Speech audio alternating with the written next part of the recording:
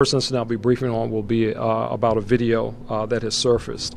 Uh, MPD is aware of the video that has surfaced on social media depicting an MPD member using force against the subject.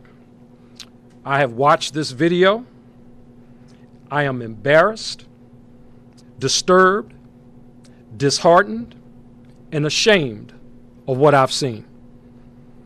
We are an agency of more than 3,500 officers, and I assure the community this is not consistent with our training, our tactics, our policies, procedures, nor is it consistent with our agency's values.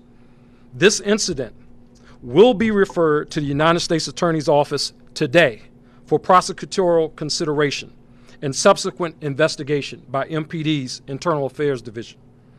While getting illegal firearms is a priority for safer communities, this is not the way we train our members to get illegal firearms off the streets.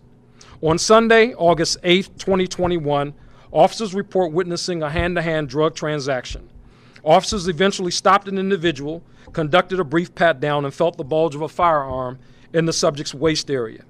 As a result of this encounter, three MPD officers, police powers, have been revoked, and those officers have been placed in a non contact status pending criminal and administrative investigations.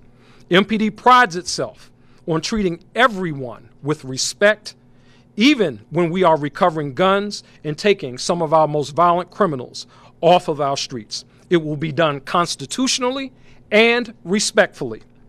Our standard as police officers are intentionally set high.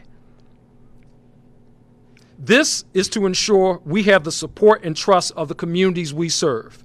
This video does not reflect that standard.